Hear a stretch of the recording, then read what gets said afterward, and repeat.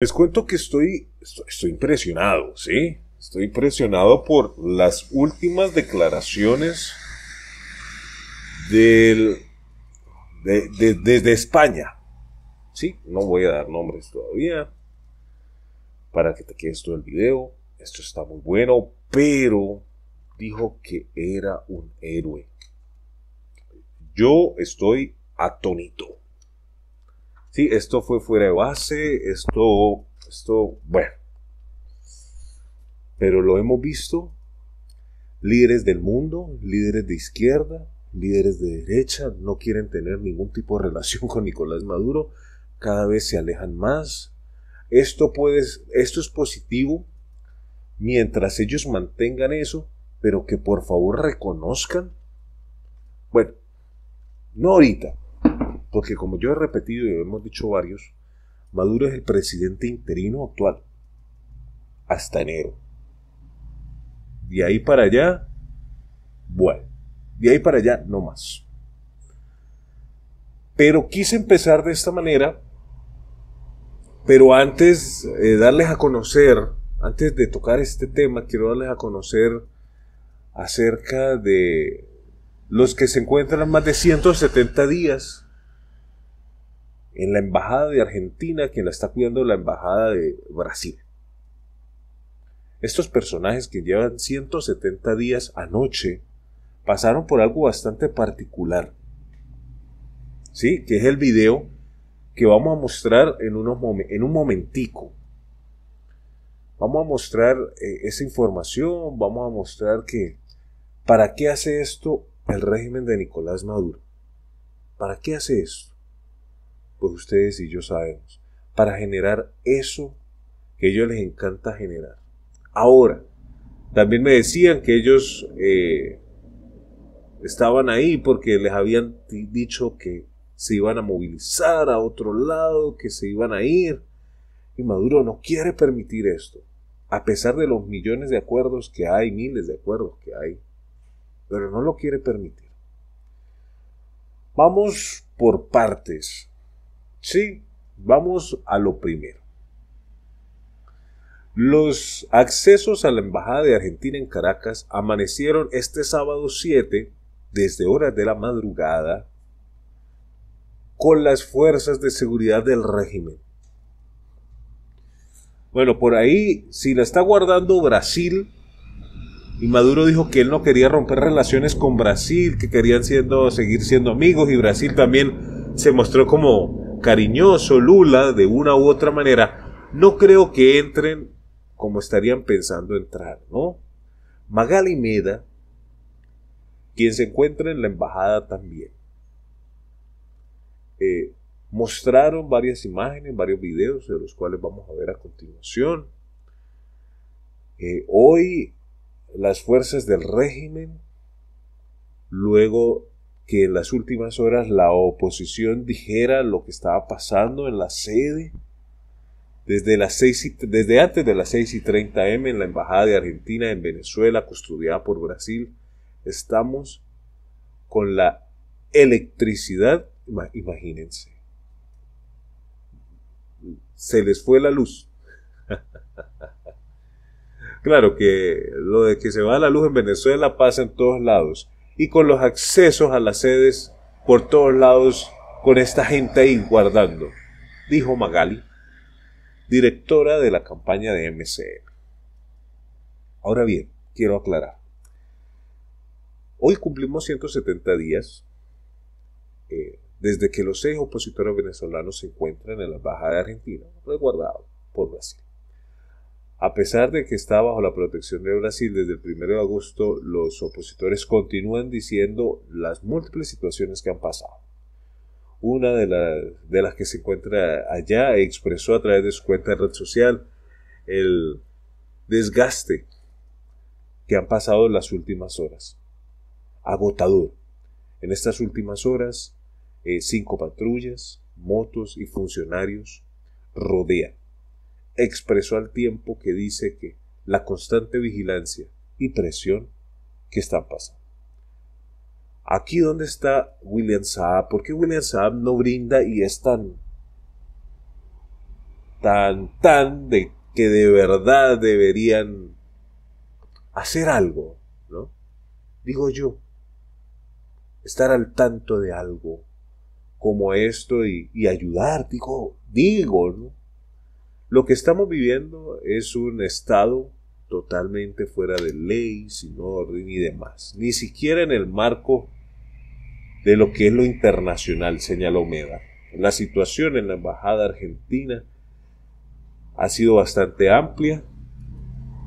Cuando Brasil asumió la custodia de las instalaciones tras lo que sucedió por parte del régimen, a pesar de ello los funcionarios, tanto del CD, de la dirección del DAE, de diferentes partes de la PNB, se han pasado el derecho por donde han querido.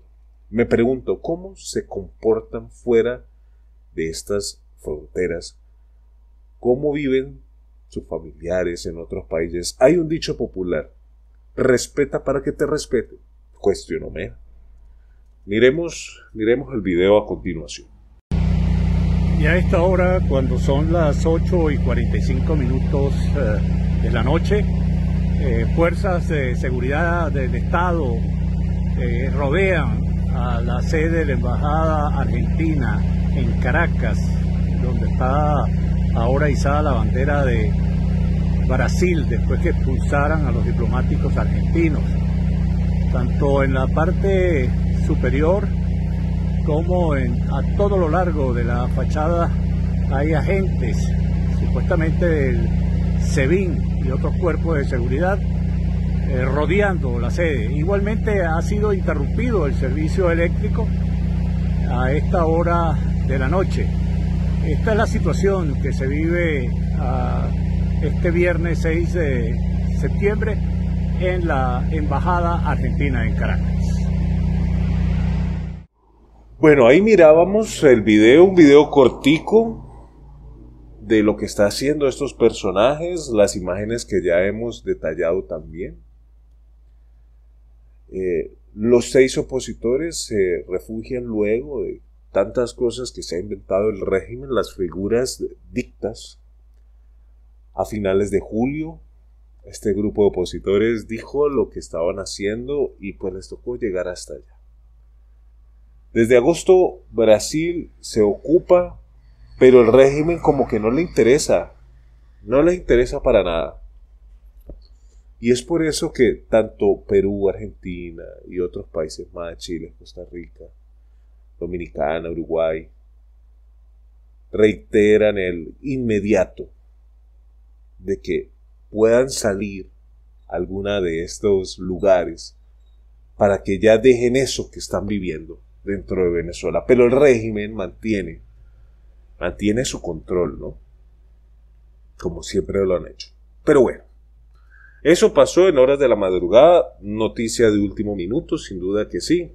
Pero, como les dije, lo que les quería traer, por eso es bueno quedarse toda la noticia, eh, Pedro Sánchez dice que el mundo es un héroe. Noticia que nos dejó a todos en el sitio.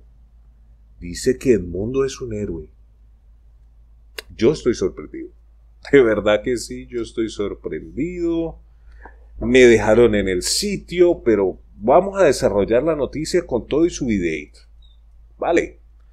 El presidente del gobierno español y secretario general del PCOE, Pedro Sánchez, ha reivindicado este sábado, durante su discurso en el Comité Federal, al candidato del mundo como un héroe de Venezuela, a quien España no va a abandonar. Escuchemos defendiendo los derechos humanos de todas las personas, sea cual sea su religión o su raza, apostando por los organismos multilaterales, por la legalidad internacional, por la ayuda al desarrollo, como las mejores herramientas para abordar y para proteger la paz y el drama que padecen miles de migrantes, defendiendo la democracia, combatiendo los bulos, las campañas de injerencia, protegiendo la seguridad y la integridad de activistas, periodistas y líderes políticos, estén donde estén, en Rustina o en Venezuela. Líderes como Edmundo González, un héroe a quien España no va a abandonar.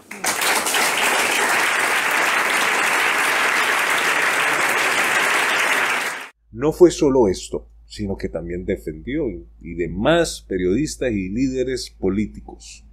Durante su intervención, Sánchez también se ha pronunciado sobre la política exterior y ha valorado que su vicepresidenta Teresa Rivera va a ser una extraordinaria comisaria europea, al tiempo que ha subrayado la necesidad de una Europa con una aproximación social democrática y que ponga en valor los derechos humanos de todas las personas. Pero bueno, señores, lo posicionó como un héroe al mundo,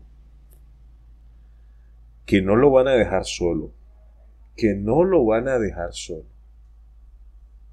Yo espero que el mundo entero no deje solo a nuestro querido el mundo, porque saben algo, esto es de todos los países, porque lo que está sucediendo en Venezuela es que Maduro está buscando las mil y unas maneras para que o se vaya el mundo, o se vaya, o se inventen, pueda quedar en el exilio, para ellos seguir haciendo su cuentico de medio tiempo y poderse quedar en el país por muchísimo más tiempo. Yo realmente considero que, bueno, que positivo realmente que Pedro Sánchez esté colocándose de este lado de la historia. Me parece excelente y le doy las gracias. Pero también les digo algo, ¿no? Hay que estar muy atentos. La misma gente de izquierda, como yo dije, voy a explicar en mi siguiente video, están, están asustados, están viendo las cosas color hormiga, se las están viendo de otros colores, de otros sabores, por colocarlo en ese término. Nuestro mundo, les digo, les doy información de antemano, está muy fuerte, está haciendo lo que debe hacer. Eh, vamos a ampliar eso en, en el siguiente, que vamos a estar en el chat en vivo para que por favor estén atentos en el video que viene a continuación. Pero lo que les digo en este es que el líder de Pose ha puesto en valor, en valor a el mundo. ¿Qué va a decir Nicolás Maduro? ¿Qué va a decir Diosdado Cabello? Que por cierto la siguiente noticia tiene mucho que ver con Diosdado Cabello. Por eso, atendamos la noticia, esto se pone muy bueno, se, coloca cada día mejor. Les explico, como decía, lo que sucedió en horas de la madrugada en la embajada de Argentina resguardada por Brasil. Magali Meda detallando y estos otros detallando lo que realmente está sucediendo. Hay miedo en Caracas. Hay miedo en Caracas. Por eso están haciendo lo que están haciendo, porque hay un miedo gigantesco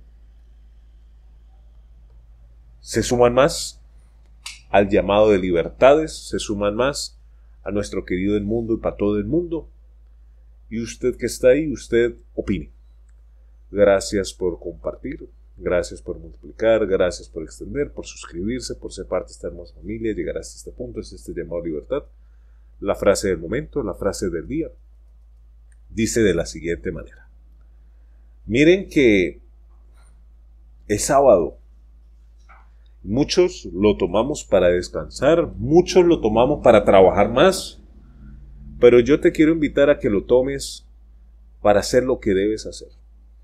Hoy, mañana y siempre. Podrá ser sábado, domingo, lunes, martes, miércoles, jueves o viernes. Igual son días donde debes emprender algo nuevo, debes hacer algo diferente, pero sobre todas las cosas, aprende hacer las cosas como son. Y es que, como yo he repetido, son tiempos donde si sabemos lo que queremos, alcanzaremos, vamos a alcanzar lo que realmente necesitamos. Querer es poder. Y en estos momentos te lo aseguro, tu querer te llevará muy lejos en estos momentos. Y es por eso que te lo quería compartir a estas horas del día. Gracias por compartir, multiplicar, extender, suscribirse. Un abrazo y como siempre te lo he dicho, hasta una próxima.